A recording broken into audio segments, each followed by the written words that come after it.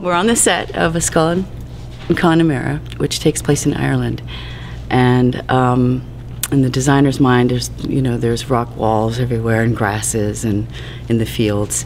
So to represent that on the stage, there's a couple of ways you can do it. You can sculpt them out of styrofoam, you can cast them in resin, uh, but it was a dry stacked wall, so I thought the best way to do it was to do it individually, and um, rather than spend a lot of money on uh, materials to do that out of, we had. Um, about 400 pounds of this stuff called Sculptamold, which you mix with glue and water, and it's kind of like paper mache.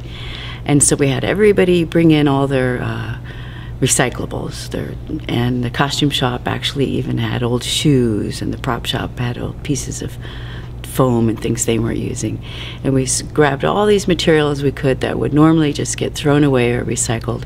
We mix up the, the stuff called Sculptamold and put that over all the garbage. So we've made garbage rocks. So we, we sculpted them out of that. And then, as you can see, the, the set walls go way up.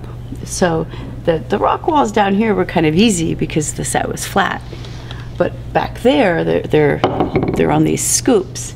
So we sort of had to take the, the rocks and uh, put some adhesive on the bottom and then screw in to the bottom and then uh, the the final touches were putting the um, the moss on it because there's moss everywhere in Ireland. So when they're lit, then they really pop, and you get a sense of that that really intense green and uh, moss in Ireland. thank you